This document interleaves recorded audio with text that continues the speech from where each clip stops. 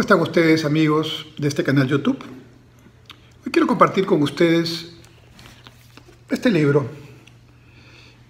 El libro se titula Comercio Internacional hacia una gestión competitiva y es publicado por Editorial San Marcos.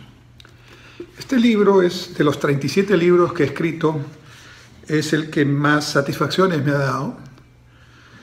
Lo escribí por primera vez en el año 1996, la segunda edición salió en 1998, la tercera edición en el 2003, la cuarta edición en el 2010 y tiene varias reimpresiones de esas ediciones, con un total entre 6.000 y 7.000 libros vendidos, no solamente en el Perú, sino también en otros países de América Latina, eh, particularmente en Paraguay, en Ecuador, en Bolivia, es utilizado, y en Perú, es utilizado como texto de los cursos de comercio internacional en diversas universidades.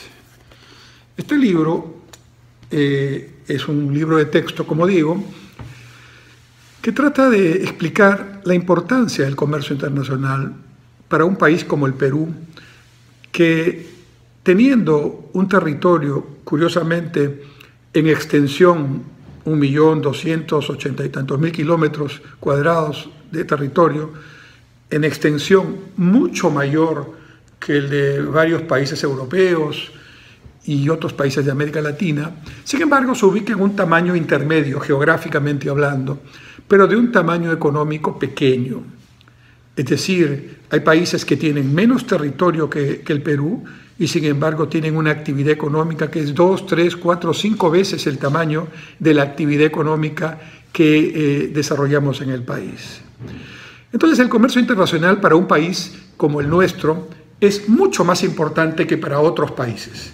Por ejemplo, países de tamaño más grande como Brasil, México, Estados Unidos, Rusia, Canadá, eh, Australia, pueden, digamos, dejar de hacer tanto comercio internacional como podrían, porque tienen un mercado interno tan grande en el que pueden justificar el tamaño mínimo eficiente que tiene que tener una actividad productiva sin necesidad de exportar. Pero claro, aún esos países grandes necesitan del comercio internacional para poder eh, desarrollar una actividad económica que genere empleo, ingresos con bienestar para su población. Pero un país más pequeño, de un tamaño, como digo, intermedio geográficamente y pequeño económicamente, como es el caso de Perú a nivel mundial, tiene necesariamente que pensar en el comercio internacional y en el relacionamiento con el mundo. El Perú gana con el relacionamiento con el mundo y pierde cuando en su historia ha intentado encerrarse en sí mismo o ha intentado proteger su economía. ¿Por qué? Por el tamaño. Esto funciona en todo lado, no tiene ideología. Si yo soy de un tamaño pequeño como país o tengo una empresa pequeña en términos relativos mundiales, pues entonces mi capacidad para poder generar buenos precios o volúmenes adecuados es eh, más limitada. Y ese es el problema que muchos no entienden en nuestro país.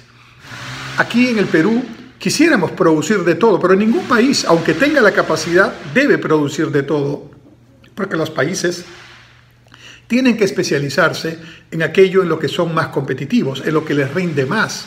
Ningún país en el mundo, subrayado, ninguno, produce de todo, en primer lugar porque no tienen de todo, pero aún si lo tuvieran, en teoría, tampoco exportarían de todo o producirían de todo porque siempre hay actividades donde se obtienen mejores rendimientos, donde hay mayor eficiencia, donde hay mejor calidad, donde hay mayor productividad. Y hay que concentrarse en aquellos que son justamente los que rinden más.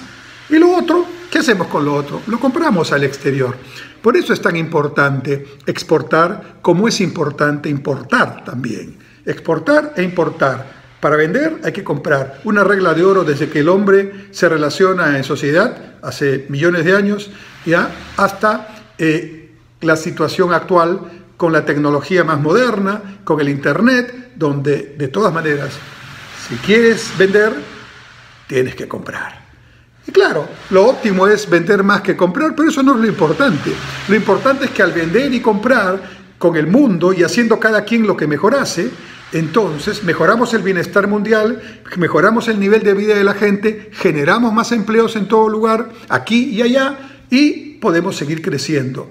Ese es el concepto. Y por eso dice comercio internacional hacia una gestión competitiva. Lo dijimos en el 96, hoy lo estamos simplemente recordando y este texto sigue siendo utilizado, eh, repito, con varias ediciones y reimpresiones, pero el punto principal es hacia una gestión competitiva. No basta exportar, hay que exportar con competitividad y para eso hay que jugar en un escenario donde hay otros competidores en el mundo que están haciendo lo mismo o mejor y que o que pretenden sacarnos a nosotros del espacio que estamos, eh, digamos, utilizando en el comercio internacional y por lo tanto esto es un permanente esfuerzo para mejorar la productividad, la eficiencia, la calidad, para innovar y para generar valor añadido.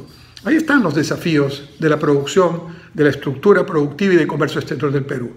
Y cuidado, es cierto que todavía somos primarios exportadores, pero no porque las materias primas no sean importantes. Ya quisieran tener los países vecinos o algún otro país del mundo las materias primas que aquí tenemos y a veces desperdiciamos al no, explotarlas. Hay que hacerlo con cuidado ambiental como lo hacen muchos otros países. No hemos inventado aquí la minería, ¿no? Canadá es país minero y tiene minería con cuidado ambiental, por poner un ejemplo. O sea que tampoco tratemos de inventar lo que ya está inventado. A veces le cargamos de ideología al tema, a veces le ponemos una cuota de poco conocimiento y entonces esa mezcla hace que muchas veces perdamos oportunidades. Comercio Internacional hacia una gestión competitiva. Un libro del que me siento muy orgulloso y que hoy lo recuerdo compartiendo con ustedes las principales reflexiones que me llevaron a escribirlo. Muchas gracias.